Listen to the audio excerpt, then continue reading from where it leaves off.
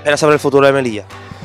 A ver, veo, veo bastante esperanza si se hacen las cosas bien, si en, en, estos años se invierte donde se tienen que invertir, si no se recorta tanto en sectores importantes, si no se destina el dinero a cosas que no tienen sentido.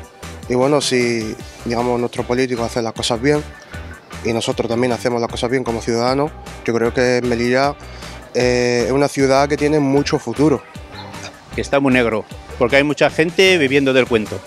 Pues eh, la verdad, mm, bastante complicado creo que lo tenemos, sobre todo teniendo en cuenta la situación que estamos viviendo ahora, en un momento tan crucial como es el, bueno, pues la cercanía a unas elecciones, viendo bueno, pues, eh, que estamos siendo noticia en los medios eh, de repercusión, en los medios nacionales, y eh, yo creo que, que, lo tenemos complicado. No tengo ni idea, no soy de Melilla, no te puedo decir nada. Mm, pues bueno, creo que puede ser bueno, ¿no? que estuve aquí hace 24 años y, y se ve una ciudad moderna y, y, una ciudad elegante. Sí. Pues depende de lo que salga las elecciones, pues así estaremos. Bueno, mira, el futuro, vamos a ver ahora qué pasa en las elecciones, que no tiene por qué haber ningún follón, porque aquí en Melilla se ha vivido siempre y se sigue viviendo de maravilla.